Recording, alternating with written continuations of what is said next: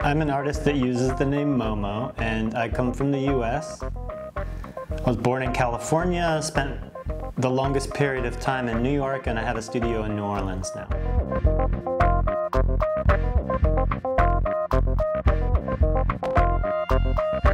The artwork that I create generally is non-representational. It's purely uh, sensual, so you read it like you would music or something without lyrics. And I'm interested in uh, rhythm and contrast and um, color theory. And uh, my idea has always been that that can be universally enjoyed and it's not something that you are required to have a very high level of education for. I like the universal nature of this.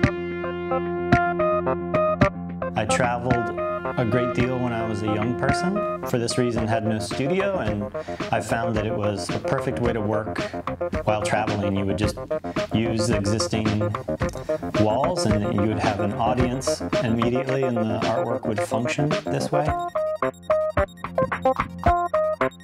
The projects I've always done have been motivated really by curiosity, and so I'm always trying to discover things, and that leads me to make tools to try to develop new uh, processes and to create new uh, insights into anything really. The creation process for the tools and the creation uh, process for the work is sort of the same for me.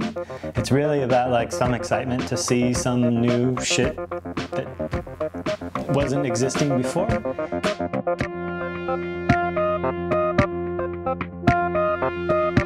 Well, also on an artistic level, I think it's great to um, contribute something to the wider arts that are happening. I think it's really cool to innovate. I got interested in something which can be called practical geometry. And that interested me because I was going to do paintings on walls and not all of those times it was legal. So you want to arrive with as little equipment as possible and, and finish a very considered design without so much time considering it, you know? So with this process, my idea was you could develop the uh, means before you arrive there and then you're just connecting two points and you let the, uh, the tool do the painting in a way. I really like the idea of going and, and doing the best I can and if people hate it then that's also like really great.